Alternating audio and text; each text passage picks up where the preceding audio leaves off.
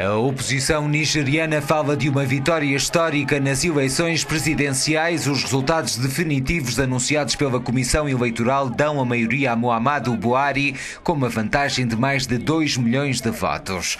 Um resultado que põe fim ao mandato de 5 anos de Goodluck Jonathan e a 19 anos de dominação do Partido Democrático do Povo no poder. O chefe de Estado se sente acusado de corrupção e de ineficácia na luta contra a rebelião islamita no norte do país, reconheceu a derrota e felicitou o seu sucessor no cargo. Buhari, que tinha assento a campanha na luta contra a corrupção e o grupo Boko Haram, declarava na segunda-feira: Penso que com a minha experiência militar vamos restaurar rapidamente o moral das tropas nigerianas com mais armas, mais treino e a reorganização das Forças Armadas.